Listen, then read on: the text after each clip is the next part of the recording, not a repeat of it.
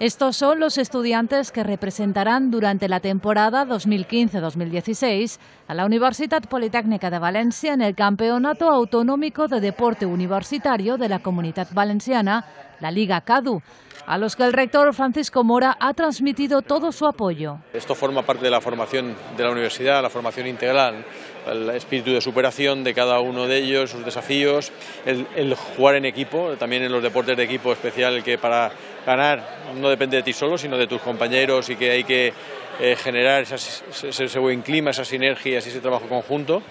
Y eso una manera de aprender, aprenderlo y divirtiéndose es aquí, en las pistas. Las siete universidades de la Comunidad Valenciana, entre ellas la UPV, participan en el Campeonato Autonómico de Deporte Universitario, una liga cuyo propósito es fomentar la práctica deportiva entre los estudiantes universitarios y promocionar las distintas modalidades deportivas. Es el campeonato que nos mm, clasifica para los campeonatos de España universitarios y nuestras selecciones son aquellos alumnos que representan a la universidad porque son el máximo nivel deportivo que tenemos en la universidad. Son alumnos que compatibilizan su actividad deportiva con su actividad académica por lo que el esfuerzo para poder representar a la universidad y para estar a tope deportivamente pues es muy grande.